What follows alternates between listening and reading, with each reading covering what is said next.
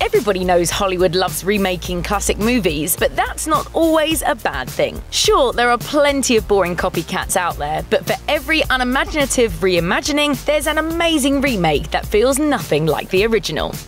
The Thing John Carpenter's 1982 film The Thing is a remake of the 1951 The Thing from Another World. But as far as remakes go, the two movies are different creatures. Sure, both versions are set in snowy wastelands where an alien terrorizes humans and murders sled dogs. In both movies, the thing hates fire and is defeated by a pilot, but that's where the similarities end. In the 51 movie, the monster is a gigantic humanoid vegetable. The humans work together to defeat it, which is the opposite of what happens in the remake. Instead of fighting an intellectual carrot, the characters in the 82 film face a slimy shapeshifter that absorbs and impersonates impersonates its victims. The heroes in The Thing are constantly suspicious of each other and never sure who's human. Most importantly, the 51 film ends with the alien defeated, but the 82 film has one of the most ambiguous endings ever, as bleak and cold as Outpost 31.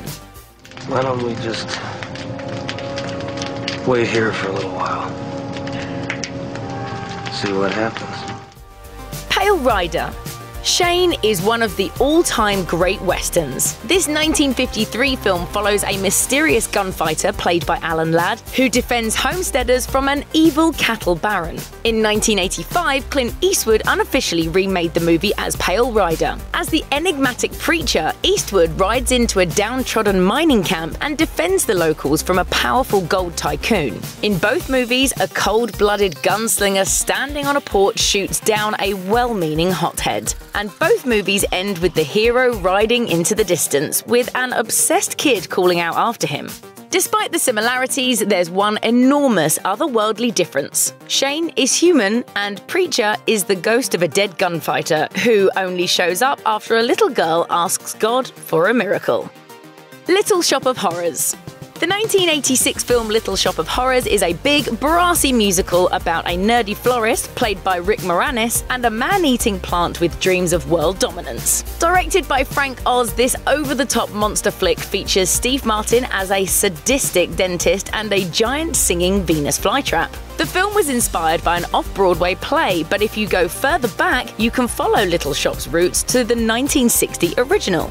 While the basic plot is the same for both movies, the original wasn't a musical. The blood hungry plant is far more talkative in the remake, but the biggest difference is the ending. In the remake's theatrical ending, the hero saves the world from the giant plant, but in the original, the lead is devoured and turned into the world's most horrific flower. He was such a good boy.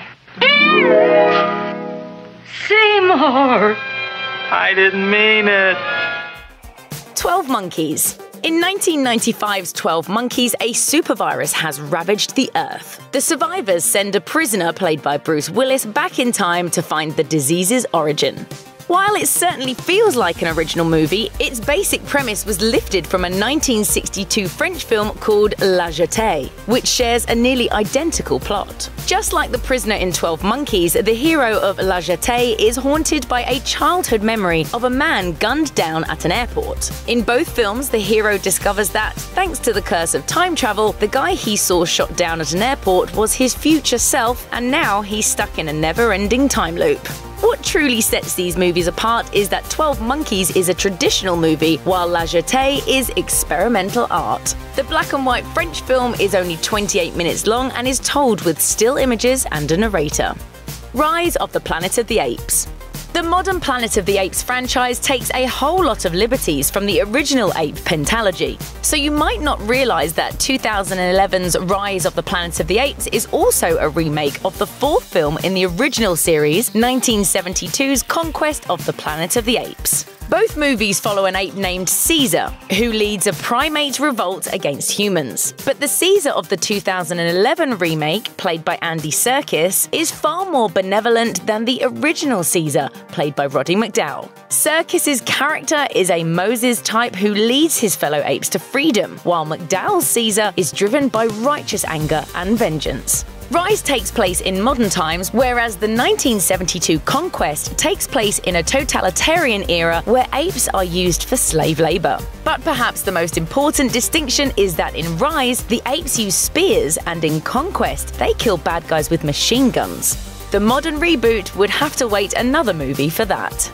Pete's Dragon if you compare the 1977 Pete's Dragon to the 2016 remake, you could sum up the similarities in one sentence. An orphan boy named Pete befriends a magical dragon named Elliot. Other than that, these two movies are totally different beasts. Most notably, the original Elliot is covered in scales, but the new one looks like a fuzzy green dog. And Pete's backstory is different.